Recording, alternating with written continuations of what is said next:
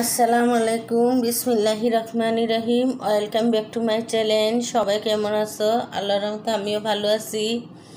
আর দেখো, নতুন একটি ব্লগ নিয়ে আবার চলে আসলাম। আর এখন ভোর রাত্রে সেয়ারি খাওয়ার জন্য উঠলাম সবাই বাসার। আর রান্নাটা তোমাদের সাথে শেয়ার করতে পারি নাই। এত সুন্দর হয়েছে রান্নাটা। তারপরে শরীরটা ভালো ছিল না, সেজন্য শেয়ার করতে পারি নাই। ভাবলাম খাবারটা শেয়ার করি তোমাদের সাথে। আর এই যে এখন খাবারটা খেয়ে নিচ্ছি। যে রান্না করলাম লাল লাল মুরগির ঝোল, আলু দিয়ে। দেখো কতটা সুন্দর হয়েছে। মাসাল্লাহ আল্লাহ রহমতে এখন খেয়ে বলব কেমন হয়েছে তোমাদেরকে।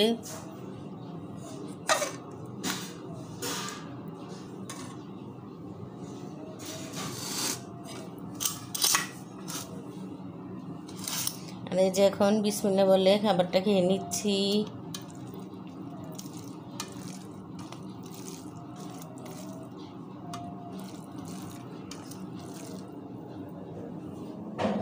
সাথে নিলাম একটা পেঁয়াজ। এতটা সুন্দর মাংসটা সিদ্ধ হয়েছে, দেখো, খুলে আসতেছে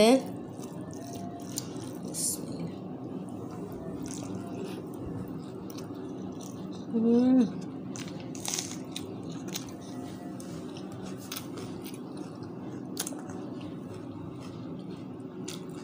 ভুল রাতে স্যারি খাবার এভাবে দেখব, অনেক মজা হয়, আল্লাহ নেয়ামত হয়।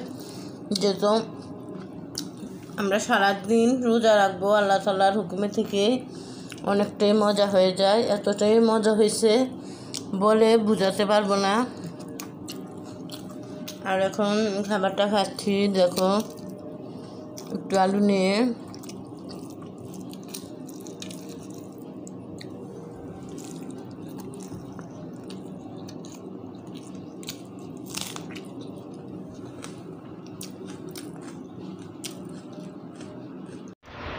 শুভ সকাল। আর সকাল থেকে এখন ব্লগটা শুরু করে দিলাম। আর দেখো, এই যে আমার এক ভাবি টুকানো শাক দিয়ে গেছে। এটি মনে হয় হাইসা শাক এগুলো কেটে নিচ্ছি শাকগুলো। আর কেটে এখন স্যারির জন্য কি রান্না করব তোমাদের সাথে তো শেয়ার করব। এখন আমি কেটে নিই বসে বসে। এই দেখো, অনেকগুলো কেটে নিয়েছি। অনেকগুলো শাক নিয়ে আসছে। আর শাক ভাজি করব আজকে। টুকানো শাক খেতে ইচ্ছা করতেছে ভাজি করে। আর তোমাদের সাথে কীভাবে ভাজি করি তা তো শেয়ার করব। আর এই যে দেখো, শাকগুলো গেটে এখন চলে আসলাম। সব ধুয়ে নিলাম। শাক, মাছ আর মাছ দিয়ে টমেটো দিয়ে মাছের ঝোল রান্না করব। তাই তেলটা গরম বসিয়ে দিলাম। আর এদিকে দেখো এই যে শাক একটু লবণ দিয়ে ভাপে বসিয়ে দিয়েছি। রসুন আর মরিচ দিয়ে বাগার দিব শাকটা। আর এদিকে এই যে তেলাপিয়া মাছ নিচ্ছি তেলাপিয়া মাছ দিয়ে, টমেটো দিয়ে মাছের ঝোল রান্না করব। যে। আর আজকে ইফতারি বানালাম না। বানানোর কথা ছিল, কিন্তু বানাতে পারলাম না। আমার এক নানা মারা গেছে, আমার আম্মুর উকিল বাপ। যাওয়ার কথা ছিল, কিন্তু আর যেতে পারি নাই। কারণ আব্দুর রহমান অসুস্থ, জ্বর উঠছে, বমি করতেছে। এই জন্য আর যেতে পারি নাই।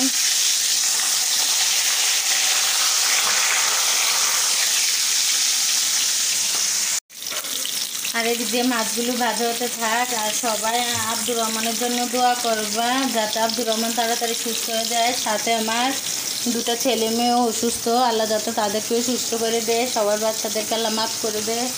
এই দোয়া করে সুস্থ রাখে। আর এই যে দেখো, শাকগুলো ভাপে বসিয়ে দিলাম। শাক ভাজিটা খেতে খুবই ভালো লাগে টুকানো শাক। আর মাছের টমটি দিয়ে ঝোলটা রান্না করব। এই সেরির জন্য আর বেশি কিছু রান্না করতে পারব না, কারণ শরীরটা বেশি ভালো যাচ্ছে না, মনটাও ভালো নেই।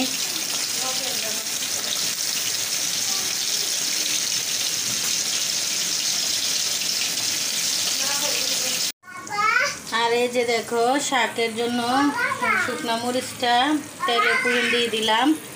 একটু হালকা ভেজে রসুনটা দিয়ে বাগার দিয়ে নিব।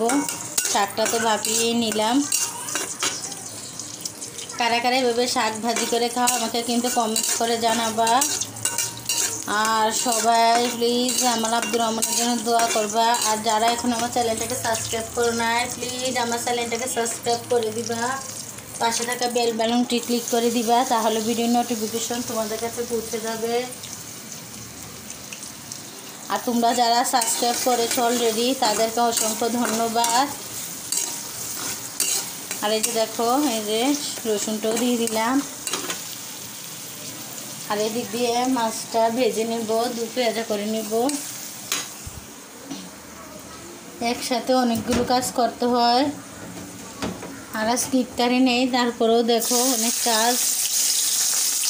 একটা টমেটো চলে গেছে পেঁয়াজের সাথে।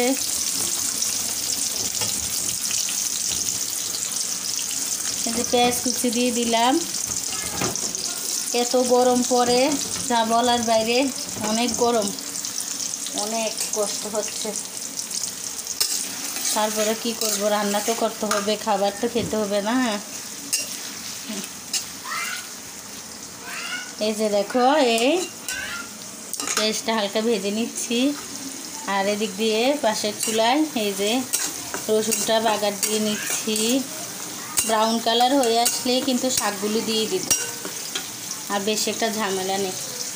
আর এই যে দেখো, খুব ঝটপট আর এই যে দেখো, পেঁয়াজটা হালকা ভেজে নিয়েছি। এখন পেঁয়াজ, রসুনের পেস্ট দিয়ে দিব স্বাদ মতো। এভাবে মাছের ঝোল রান্না করলে কিন্তু খুবই ভালো লাগে। বাচ্চারাও পছন্দ করে। আর আজকে সব শেষে কিন্তু টমেটো ধনে পাতার পেস্ট দিব। এই যে দিয়ে দিলাম, এখন স্বাদ মতো লবণ দিব। আর টমেটোগুলো দিয়ে দিচ্ছি একসাথে। মশলার সাথে কষিয়ে নেই। আর হলুদ গুঁড়া, মরিচ গুঁড়া দিয়ে দিব স্বাদ মতো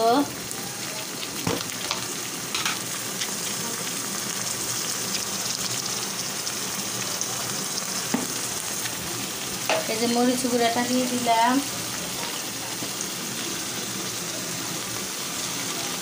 এখন হলুদ গুঁড়া দিয়ে দিচ্ছি।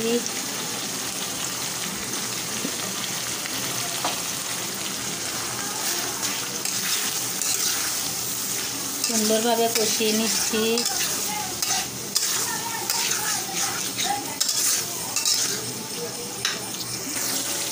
আর এই যে দেখো, খুব সুন্দরভাবে কষানো হয়ে আসছে। তেলটা উপরে উঠে গেছে। এখন পানি দিয়ে দিব। এই যে পানি অ্যাড করে দিলাম। এখন ফুটে উঠলে মাছগুলো দিয়ে দিব। ফুটে উঠতে থাক। আর এই যে দেখো, ফুটে উঠছে। ঢাকনাটা তুলে নিলাম। আর এদিকে ধনে পাতা আর কাঁচা মরিচের পেস্ট আছে, একসাথে দিয়ে দিচ্ছি। তাহলে ফ্লেভারটা সুন্দর আসবে সেন্ট ভালো হবে। এই যে দেখো, দিয়ে দিলাম ফ্রোজেন করা ধনে পাতা আর সাথে কাঁচা মরিচও। আর এখন মাছগুলো দিয়ে বাস ফুট উঠলে নামিয়ে নিব। ঝটপট রান্না করে নিলাম। ধনে পাতা বাটা, টমেটো মাছের ঝোল। এই যে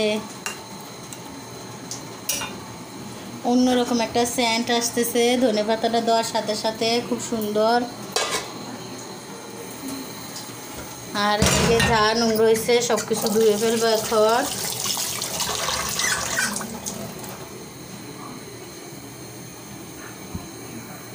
আর এই যে দেখো রেডি হয়ে গেছে। আর চুলাটা নিভিয়ে দিলাম। এখন কাজকর্ম প্রায় শেষ। আর ইফতারের সময় কী খাব সেটা তো খাবারটা তোমাদের সাথে শেয়ার করব। আর এখন ডাকনা দিয়ে নামিয়ে নিচ্ছি। শাকবাজি আর মাছের ঝোল।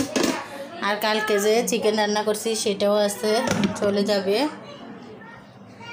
আর এই যে দেখো, ইফতারের সময় হয়ে গেছে প্রায়। আর এখন চিরা নিলাম। আর চিরা ধুয়ে ভিজিয়ে রেখেছি। এদিকে মিঠাই নিলাম, খেজুরা গুড় আর দুধ নিলাম। এই যে কলা নিচ্ছি, এগুলো দিয়ে মেখে খাব। আজকে তো ইফতারি বানালাম না বললামে আর এই যে শরবত বানিয়ে নিয়েছে, শরবত খেয়ে নিব। আর এই যে খেজুরে নিয়ে নিলাম, আর এখন এক এক করে সব কিছু মেখে নিব।